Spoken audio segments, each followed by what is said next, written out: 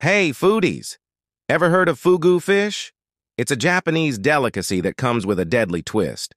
Fugu fish, also known as puffer fish, is a delicacy enjoyed by many. But did you know it can be deadly if not prepared properly? Fugu contains a deadly toxin called tetrodotoxin, which can cause paralysis and even death if consumed. Only trained and licensed chefs are permitted to prepare fugu, following strict regulations to ensure safety, messing up the prep or eating the wrong part can be a recipe for disaster. And guess what?